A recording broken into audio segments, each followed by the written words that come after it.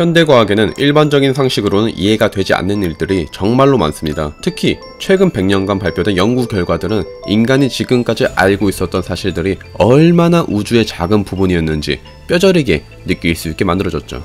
제가 지금부터 말씀드리는 이야기는 매우 매우 놀랍고 또 우주가 상식을 뛰어넘는 존재라는 것을 느끼게 만들어 줄 겁니다. 실제로 당시 과학자들 역시 이 사실에 대해서 이해하지 못하고 부정하는 경우가 매우 많았습니다. 과학이 발전하고 또 발전할수록 과학자들은 작은 것들로 눈길을 돌렸습니다. 그냥 조금 작은 게 아니라 눈으로 볼 수 없을 정도로 매우 작은 입자들의 세계에 관심을 가지기 시작했죠. 그걸 양자역학이라고 합니다. 뭔가를 반으로 자르고 다시 반으로 자르는 것을 계속 반복했을 때 마지막에 나타나는 그 기본 입자들의 움직임은 상식을 뛰어넘어 있습니다.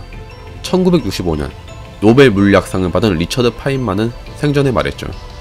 이 세상에 양자 역학을 제대로 이해하는 사람은 아무도 없다고. 정말로 충격적인 명제 하나를 말씀드리겠습니다. 입자 하나가 동시에 여러 곳에 존재할 수 있다. 처음 듣는 분들은 이해가 안 될 수도 있습니다. 다시 말씀드리지만 하나의 입자는 동시에 여러 곳에 존재할 수 있습니다. 동시에 라는 말에 집중해 주세요. 맨체스터 대학의 제프 포셔와 브라이언 콕스 교수는 이 사실을 두고 일어날 수 있는 모든 일은 일어난다 라고 표현했죠. 무슨 말이냐고요? 당신이 X 지점에서 전자가 든 총을 들고 전자 총알을 Y라는 지점을 향해 쏩니다. 그러면 전자는 어떤 방향으로 이동할까요? 잠시 시간을 드리겠습니다. 생각해보세요. X 방향에서 Y로 전자를 쏘면 전자들은 X에서 Y로 어떻게 도달할까요? 답은 도달할 수 있는 모든 경로를 통해 도달합니다. 많은 사람들이 단 하나의 경로를 따라서만 이동할 수 있다고 믿고 지금까지 그렇게 봐왔습니다.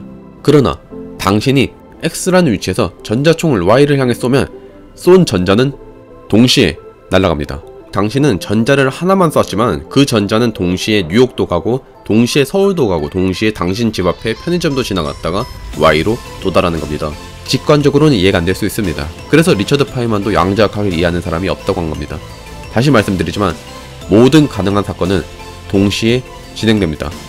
이 사실은 1927년 물리학자 클린턴 데이비슨과 레스터 저머에 의해 발견되었습니다.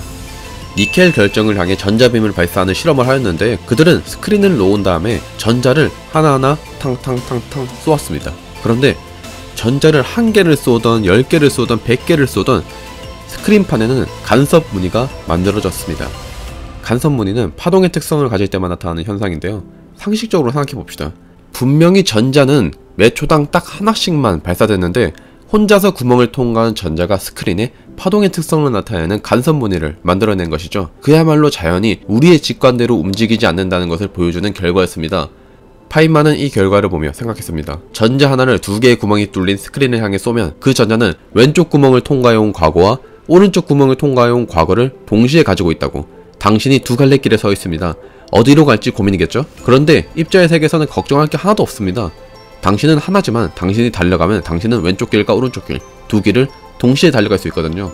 그냥 당신은 왼쪽 길로 달려감과 동시에 오른쪽 길로 달려갑니다. 납득이 안 되는 것, 그것이 정상입니다. 그러나 수많은 실험 결과와 수학은 이 말도 안 되는 이 말이 맞다는 것을 입증해 줍니다. 즉, 입자들의 세상에서는 모든 가능한 사건들이 동시에 진행됩니다. 파인만은 가능한 모든 경우들이 최종 결과에 기여를 하고 있으며 모든 과거의 합이라고 불렸던 파인만의 방법은 과거라는 개념에 가히 혁명적인 변화를 일으켰죠. 해당 결과들에 대한 수학적인 해석이 궁금하신 분들은 파인만이 1965년 저술한 Quantum Mechanics and Path Integral을 참고해 주시기 바랍니다.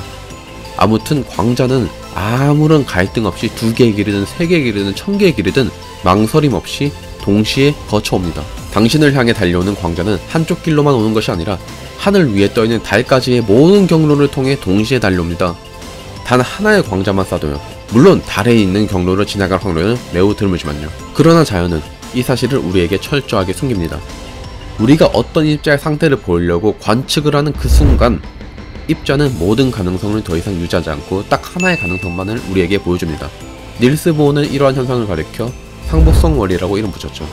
세상 모든 만물은 파동적 성질과 입자적 성질을 동시에 가지고 있으나 두 성질은 결코 동시에 관측이 되지 않는다고요. 리처드 파인만이 그의 강의에서 했던 말을 다시금 말씀드리겠습니다. 내가 여러분에게 말한 내용은 여러분은 결코 이해를 하지 못할 것이다. 왜냐면 나 자신도 이해를 하지 못하고 있기 때문이다. 그러니까 여러분도 자연 자체가 터무니없는 존재라는 사실을 받아들이는 것이 좋을 것이다.